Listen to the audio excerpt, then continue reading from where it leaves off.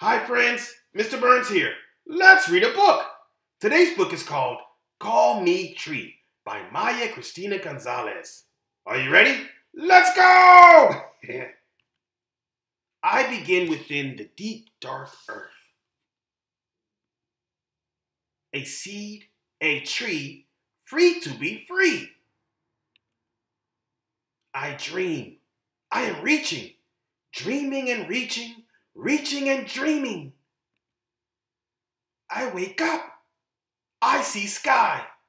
Sky as high as a bird can fly. I reach and I rise.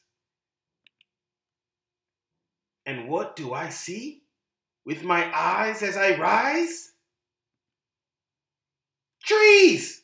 More and more trees! Trees and trees just like me!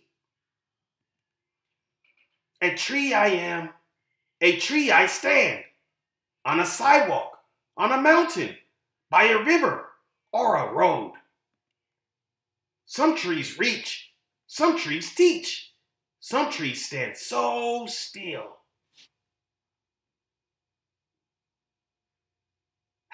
See what I did there? I was standing still. Yeah. Some sing songs, some sing along. All trees have roots, all trees belong. Call me tree because I am tall, I am strong, and like a tree, I am free.